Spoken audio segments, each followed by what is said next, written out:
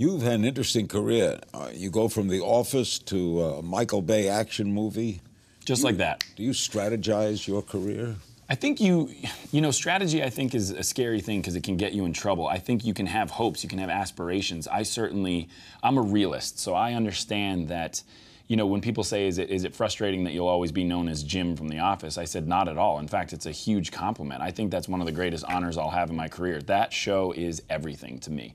I was a waiter before I got that job, so I'm living a lottery ticket life. I mean, I, I, really am. And so I almost feel like I don't deserve to have gotten that opportunity, so I'm trying to deserve the idea of staying here.